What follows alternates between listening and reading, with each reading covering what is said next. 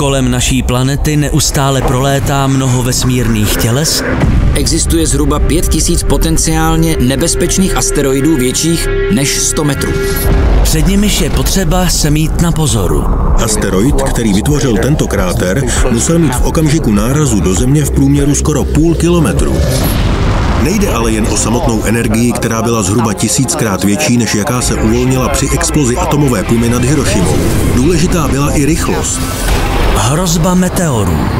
V pondělí ve 23.20 na CS Mystery.